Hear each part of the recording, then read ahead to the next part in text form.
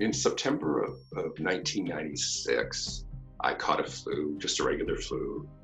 But the reality of the situation for me, Scott, is that flu has been at the same level since September 1996 with me every day.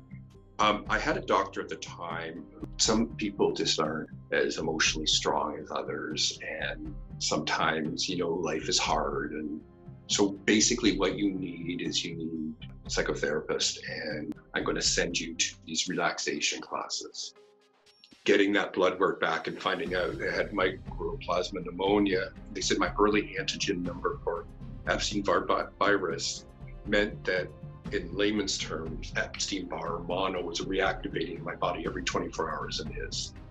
So she said, you're at the first 24 hours of mono every day, basically. What sort of blows me away now that my Epstein Barr number was off the charts and the highest they had seen. She said, I apologize for all the years of abuse you've, you've been given from the medical community.